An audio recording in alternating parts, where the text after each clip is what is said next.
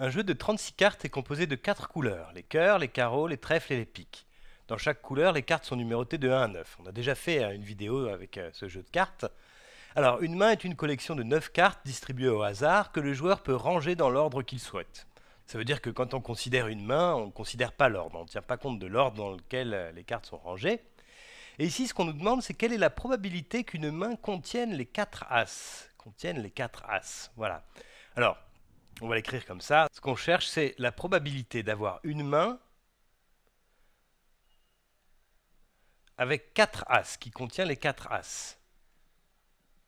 Voilà. Alors comme les cartes sont distribuées au hasard, on est dans une situation d'équiprobabilité, et dans ce cas-là, on sait que la probabilité, c'est tout simplement le nombre de cas favorables, hein, c'est-à-dire ici, ça va être, alors je vais l'écrire en bleu, ça va être le nombre de mains avec 4 As. Donc le nombre de mains qu'on peut former euh, avec, qui contiennent 4 As, mains différentes, divisé par le nombre de mains total. Hein. C'est le nombre de cas favorables divisé par le nombre de résultats possibles. Donc ici, je répète, hein, le nombre de cas favorables, le nombre de résultats favorables, c'est le nombre de mains qui contiennent 4 As qu'on peut former, divisé par le nombre de résultats possibles. Ici, c'est le nombre de mains possibles. De mains possibles. Nombre de mains possibles de 9 cartes.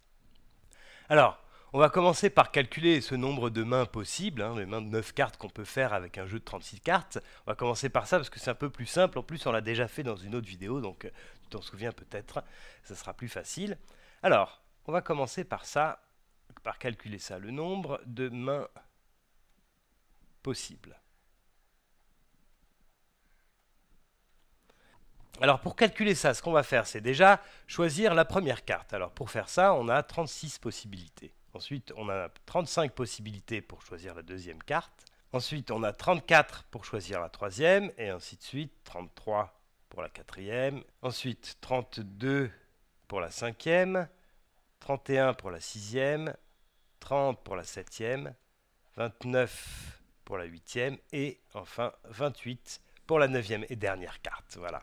Alors quand on a fait ce, quand on fait ça, en fait, on considère ici euh, des mains euh, qui sont constituées de mêmes cartes mais rangées dans un ordre différent comme des mains différentes, ce qui n'est pas, ce qui pas ce qui nous intéresse ici.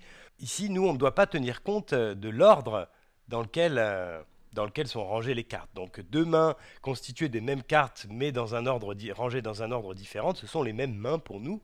Donc ici on va diviser, c'est ce qu'on avait fait dans la, vidéo précédente, on va diviser par le nombre de permutations de 9 cartes. Et ça, on avait vu que c'était, alors on va le faire, hein. je vais le faire dans une autre couleur.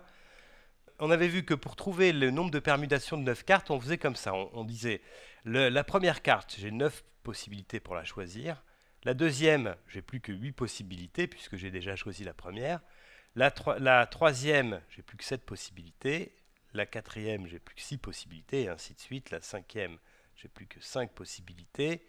La sixième, j'ai plus que 4 possibilités. La septième, j'en ai plus que 3. La huitième, j'ai plus que 2 possibilités. Et ensuite, il me reste une carte qui est forcément la neuvième carte. Voilà. Donc ça, ce que j'ai écrit en dessous, 9 x 8 x 7 x 6 x 5 x 4 x 3 x 2 x 1, ça c'est 9 factoriel et c'est le nombre de permutations euh, de 9 cartes. Voilà. Alors on avait vu aussi que ça, ça pouvait s'écrire de cette manière-là. Alors je vais reprendre le jeu de couleurs pour qu'on ne se trompe pas. Alors cette partie qui est en violet, là, le numérateur, on, avait, on avait vu qu'on pouvait l'écrire comme ça. C'est 36 factoriel divisé par 36 moins 9 factoriel. Voilà. Et puis, ce, que j'ai écrit en jaune, c'est 9 factoriel, comme je disais tout à l'heure. Donc on avait réécrit euh, cette fraction ici, cette énorme fraction, de cette manière-là, beaucoup plus condensée. C'est 36 factoriel divisé par 36 moins 9 factoriel fois 9 factoriel. Voilà. Ici, hein, ce, que j'ai fait en violet correspond à ce que j'ai fait en violet ici, et ce que j'ai fait en jaune ici correspond à ce que j'ai écrit en jaune ici aussi. Donc ça, ça représente le nombre de mains possibles qu'on peut faire avec 36 cartes. Bon, j'ai été un petit peu vite, hein. si, si c'est pas très clair, tu peux aller regarder la vidéo qu'on avait déjà faite là-dessus. Et maintenant, on va essayer de calculer le nombre de mains de 9 cartes qui contiennent 4 As. Alors, je vais l'écrire comme ça, on va essayer de calculer ça maintenant. Le nombre de mains avec 4 As. Alors, pour faire ça, pour calculer ce nombre de mains qui contiennent 4 As, eh bien, on va utiliser le fait que l'ordre ne compte pas. Hein. donc, dans une main qui contient 4 As, on peut très bien supposer que les 4 As, ce sont les 4 premières cartes. Donc, on va, on va faire ça comme ça. On va représenter une main avec les emplacements. Donc, il y a 9 emplacements. 1, 2, 3, 4, 5, 6, 7, 8, 9. Voilà. Alors, là, mon premier emplacement, il est occupé par un As. Le deuxième emplacement, il est occupé par un As. Le troisième aussi. Et le quatrième aussi. Voilà. Donc là, finalement, ici, finalement, j'ai une seule possibilité pour remplir les quatre premières cartes, puisque je dois avoir les quatre As. C'est comme si on, se demande, on considérait des mains de quatre cartes seulement, et à ce moment-là, on, comprend très bien que la seule façon d'avoir euh, une, main de quatre cartes qui, contient les quatre As, c'est d'avoir cette possibilité-là. Hein. Donc finalement, là, j'ai une possibilité, une autre possibilité, une autre possibilité, et une seule possibilité ici.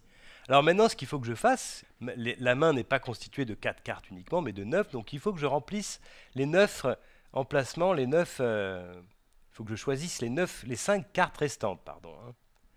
Les 5 cartes restantes. Alors pour choisir cette carte-là, la, cinquième, hein, finalement, la première qui me reste à, choisir, donc c'est la cinquième en vrai, je peux la choisir parmi toutes les cartes, sauf parmi les As que j'ai déjà choisis. Hein. Donc finalement, je peux la choisir parmi 36 moins 4 cartes, puisque j'ai déjà choisi les 4 as. Les 4 as. Donc ici, j'ai finalement 32 possibilités pour choisir cette carte-là, cette cinquième carte. Pour choisir maintenant la sixième, ben, j'ai plus que 31 possibilités, puisque j'ai déjà choisi 5 cartes. Ensuite, la septième, j'ai plus que 30 possibilités. La huitième, j'en ai plus que 29. Et enfin, la, neuvième carte, j'ai plus que 28 possibilités. Voilà. Donc ça, ça veut dire que le nombre de mains qui contiennent 4 As, eh bien, il est donné par ce produit-là. Hein. C'est ce produit-là, 1 fois 1 fois 1 fois 32 fois 31 fois 30 fois 29 fois 28. Mais là, c'est pas exactement ça, puisque ici, quand on a rempli les 5 derniers emplacements, eh bien, on a tenu compte de l'ordre. Ici, par exemple, ça ne nous intéresse pas de savoir si le 5 de carreau est en première position ou en dernière position. Hein. Ça sera la, même chose. Donc, comme d'habitude, ici, on va diviser par le nombre des permutations de ces cinq cartes qu'on a remplies ici. Hein. Donc je vais le faire, hein. je vais réécrire, réécrire ce qu'on a ici. Donc le numérateur c'est 32 fois 31 fois 30 fois 29 fois 28. Ça c'est le, nombre qu'on a déterminé ici en choisissant les les cinq dernières cartes. Et puis on divise ça par le nombre de permutations de 5 cartes. Alors pour choisir la première carte, j'ai 5 possibilités. Pour choisir la deuxième, j'en ai plus que 4. Pour choisir la troisième, j'en ai plus que 3.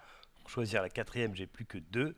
Et enfin, la dernière carte, j'ai plus qu'une possibilité. Donc voilà, le, le dénominateur ici, euh, c'est le nombre de permutations des 5 cartes.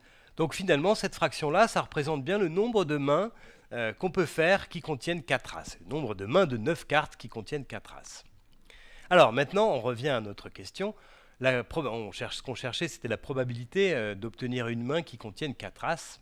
Alors pour calculer cette probabilité, maintenant il faut qu'on divise le nombre de mains qui contiennent 4 As, donc c'est cette fraction-là, par le nombre de mains possibles, qui est cette énorme fraction qui est ici. Alors j'avais fait exprès de ne pas faire les calculs, parce que là on va pouvoir faire des tas de simplifications.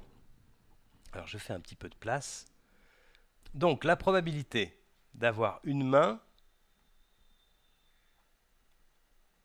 avec 4 As, on a dit que c'était le rapport entre le nombre de mains possibles, entre le nombre de mains qui contiennent 4 As, pardon, et le nombre de mains possibles. Alors, c'est donc cette fraction-là divisée par celle-ci, mais alors, quand on divise deux quand on divise par une fraction, c'est la même chose que de multiplier par l'inverse. Hein.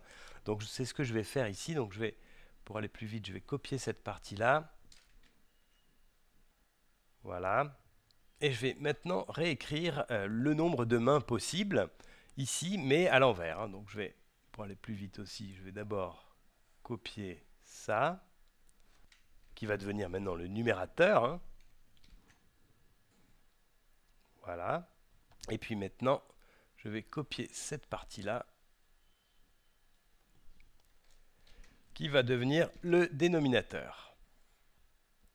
Alors maintenant, il faut que je fasse le trait de fraction. Voilà, donc ça, c'est la probabilité euh, d'obtenir une main qui contient les quatre As. C'est cette fraction-là multipliée par celle-ci, c'est-à-dire, euh, là, on a multiplié par euh, l'inverse, hein, l'inverse du nombre de mains possibles. Alors, ici, on peut voir un certain nombre de simplifications. Par exemple, là, ce dénominateur, 5 x 4 x 3 x 2 x 1, on le retrouve ici. 5 x 4 x 3 x 2 x 1. Donc on peut faire cette simplification-là. Ça, ici, là, il n'y a plus que 1.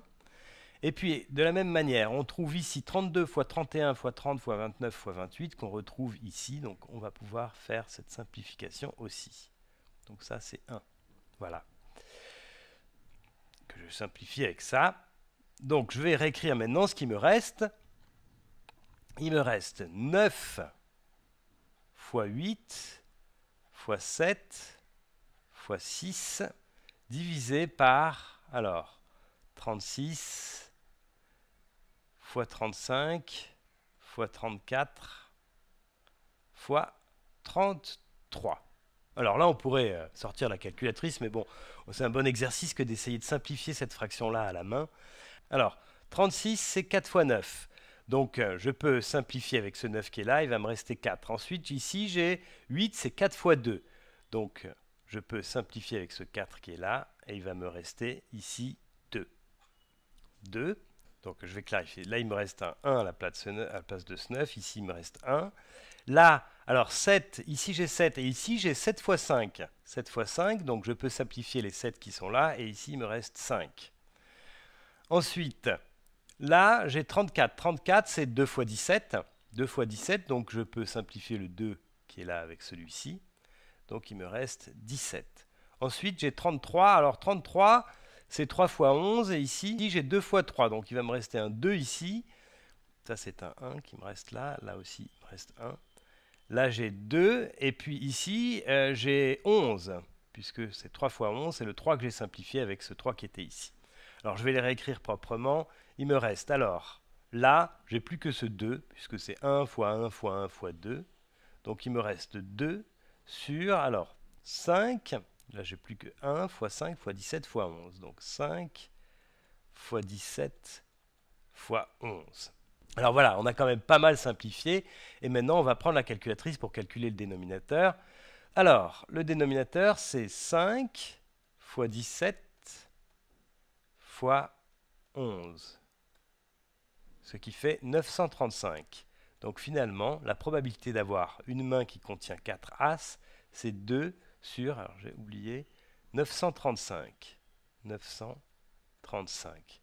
Voilà, donc c'est 2 chances sur 935, ça c'est le résultat, 2 sur 935. Donc en gros, c'est un petit peu plus que 2 chances sur 1000. C'est-à-dire que quand on nous distribue une main de 9 cartes, on a à peu près un peu plus d'une chance sur 500 qu'elle contienne les 4 As.